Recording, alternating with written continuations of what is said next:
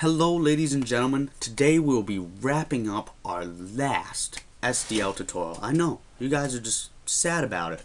Um, our SDL Pong make a game tutorial, I should be more specific. So what do we need? We need to keep track of the score. So we need two integers, int player score and AI score to see who's winning. And this game won't end once you hit a recent score. This game will just play forever. I just want to wrap it up as a simple like tech demo of the game. So let's update our player score and our AI score first since we added their integers first. In our logic, we have if the ball dot x becomes less than 2. If it goes to the player side, we need to increase the AI score. So we'll just do AI score plus equals 1. And then if it goes off the other side, the AI side, player score plus equals 1. And we need to initialize both these values as 0 up here. I'm sorry about that. Equals 0. So every time the ball goes off the left side of the screen, the AI gets a point, and every time it goes off the right side, the player gets a point. Now we need to display it. This is where things get not exactly tricky, but they just get silly in the amount of implementation. Um, so we need a TTF font, and we will call it Times, because we are going to be using Times New Roman. So in our load game, we come down here to below our reset ball, and we will say Times equals TTF load font. Is it TTF? It's load font. I'm almost positive. Well, I guess I forgot the function name. So we'll just Google it real quick. And we need TTF load font. How to install, um, so SDL TTF load font. Wow, this is getting a, rough, a, a rocky start, I should say. So, open font, open font. Oh, sorry. So it's TTF open font. And this takes the char file. It's going to be times.ttf. And our point size, let's make it 14. 14 is like a perfect size. It's it's just bold enough to um, just big enough so you can see it, but not too big where it's an intrusive. So we opened our font. So this is the font that's going to display the text. So first things first, we need to get our our font into our Pong folder. So in the debug, I'm I have times.ttf in several places on this computer because of several different programming projects. It's just the font I use. So times.ttf I have here. You just Google times.ttf, you'll find it. Um, you if you even just search for it on your computer right here, I'm sure you get 50 popping up because Times New Roman is it's Times New Roman. It's one of the standard fonts that come with the package. So what do we need now? Well, our draw. We need to draw the score. And for this score, we need to draw, we need to have the the locations of where we're going to draw um, each score. So we need two, two new SDL rects. SDL rect play score um, rect and AI score rect is what we'll call them. So these are going to be used, these are going to be modified in our load game. And all we're going to do is just give them an X location and a Y location. So play score rect dot x, we're going to leave the y's at 0, is going to equal 0, and our play score, our AI score rect, AI score rect dot x will equal, let's put it, well, let's put these both off by a margin of 50, and we'll put the other one off by a margin of 100. I, well, we'll do it 725. 725 is good. I can't imagine the text will expand more than 25 pixels unless the scores start getting really big in this game so we have that implemented so we have the plate the locations so every frame we need to draw our scores. So we need to create SDL surfaces for that. So SDL surface, our player score, our player score surface, this can be local, equals TTF render. Now we won't, we don't want to do that yet. We're gonna just do that later, and that's wrong. That's spelled wrong. Um, SDL surface, and this isn't a draw screen function. Um, AI score surface, and now we've set up those two surfaces, and we'll just go to the draw function. So SDL blit surface. We're just gonna blit these to the screen. We're gonna blint our player score surface, which is empty right now to we we have no clip for it, so null to our screen, and that will be and it is it it is the player score rect, which is where the location is for the for where we are drawing the text. And then we'll do SDL blit surface, AI, score, surface, null screen, and AI score rect. Now, this TTF is taking so many different variables. We need two more, two more, and that's where this is where crap is getting.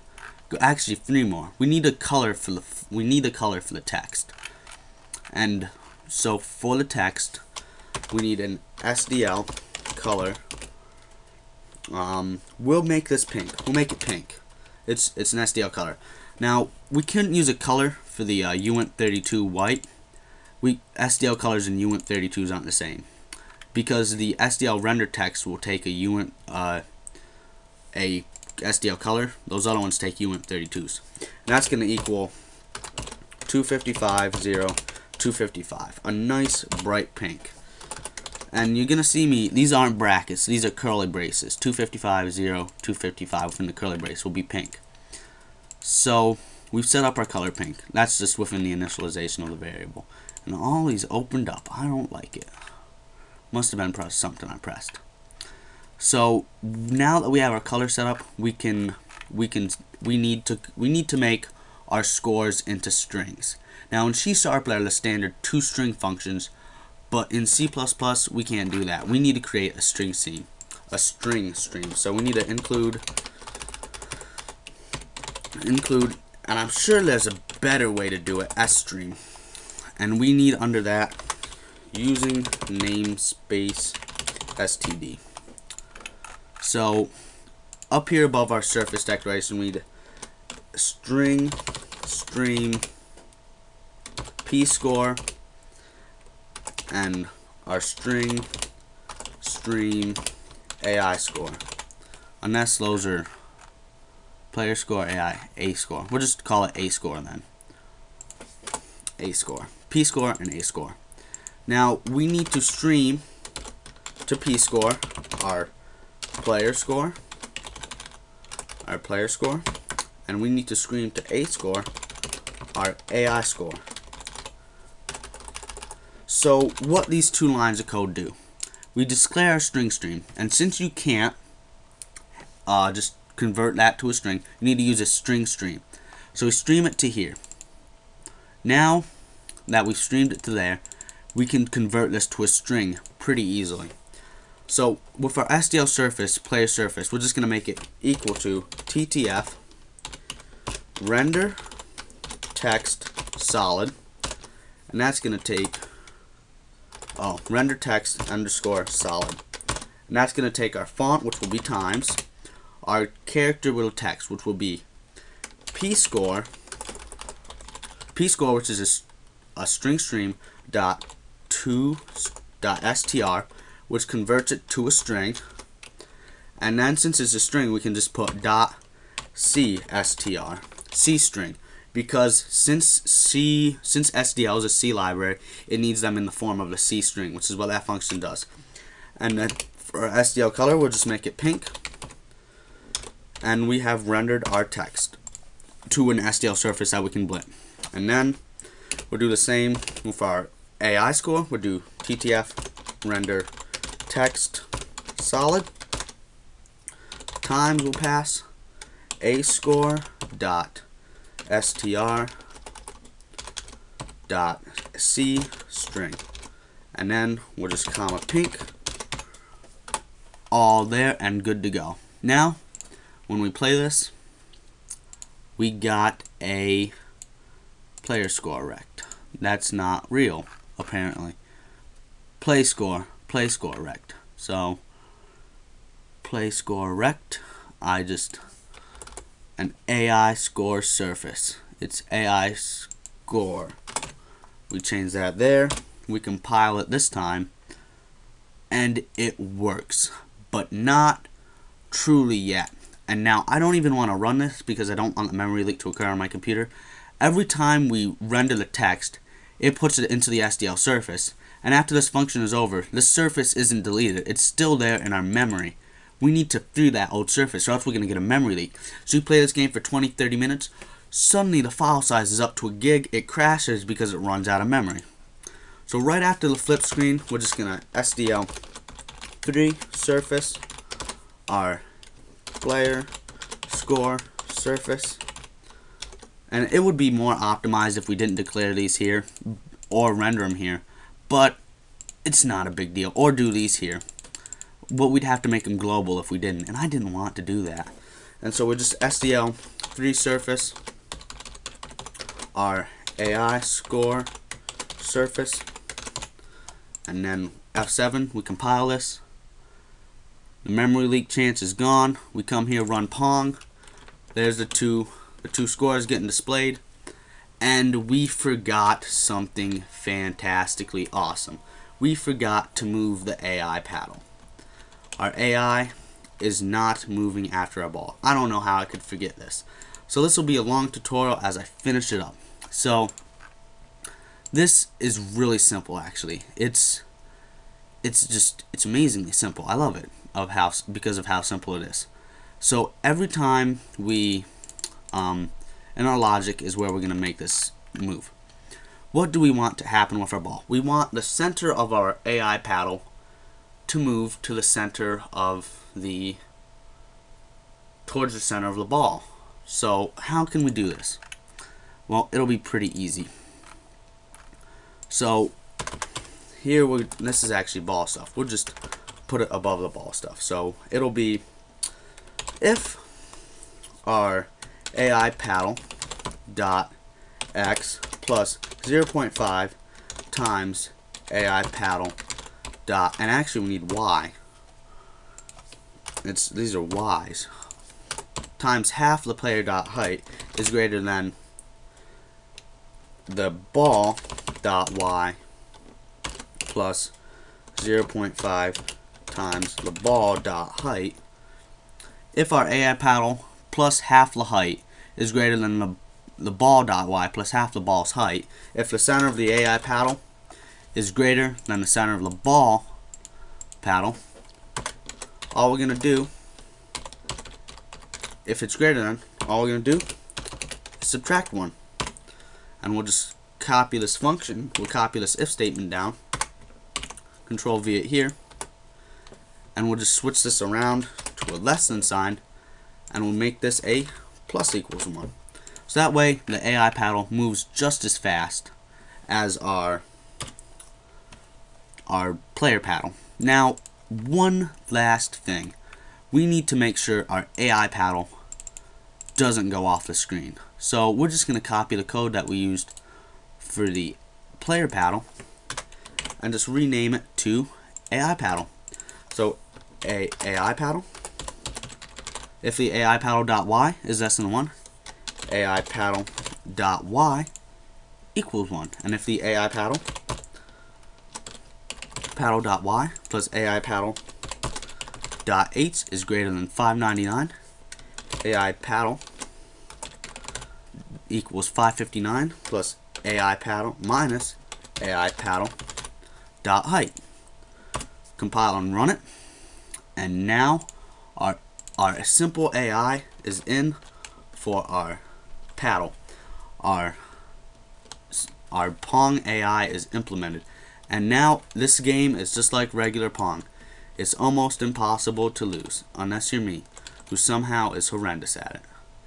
So there is our tutorial and I'm going to just go through and just say what we did in this tutorial because we did quite a bit. So in this tutorial, um, first thing we did was we included string stream. Well, we didn't do it first, but we included our string stream so we could stream our scores and convert them to strings which could be displayed as text. We scroll down even farther, we show that we implement we added our score variables, we made a, a we declared a TTF font times for Times New Roman. We created rectangles of where we're going to blit our our scores, where we're going to blit the uh, scores, the uh, score surfaces, and we made the color pink for the text. In our load game, we loaded our font, we loaded, we opened our font, and it was times.ttf at a font size of 14, and we set the the locations of where the rectangles are going to be to set our to set where um to set where the text of the score would be drawn. In our logic, we scroll down here, we made our AI paddle move to follow the ball, made it center, move to follow the ball center, and we, with these two if statements, and we made sure the AI paddle stayed on the screen. Then, in our draw screen function, we created a string stream P score and A score, and we streamed the player score and the AI score to these two stream to these two uh, streams. And then we created an SDL player score surface and an AI score surface. And to these surfaces we rendered our solid uh, we rendered solids text from the times font as P to of uh, of our P score dot string dot to a C string which is what this function takes in the color pink. Same for AI score. In the times font a score dot to string dot to C string and with the color pink. We blitted those surfaces to the screen, we flipped our screen, and then to prevent a memory leak, we freed our surfaces. And there's one more thing that I forget. We need to free our font. TTF closed font. I'm going to just assume what it is. And we're going to pass times to it. So that way our font doesn't stay open after we've exited the application. And I forgot to implement that to add that in the tutorial. I'm sorry guys. Anyways, there's what we did. Close the close the font after we were done and we quit the game. Here's our simple game loop. Look at how clean that main function is. Isn't that beautiful? Every game we load it and while the game's running, if we quit, we quit the game, we do our logic, draw a screen, and then when we quit, we run the quit code. So this was the last tutorial for our C++ SDL Pong game. Uh, I hope you had as much fun as I did making it. Uh, please remember to like, comment, and subscribe if you haven't already. Um, when you like these videos, when they get viewed a lot, um, when you get, leave me nice positive comments, that inspires me and makes me keep wanting to make videos like this. I remember this was one that was suggested to me, so that's why I did it.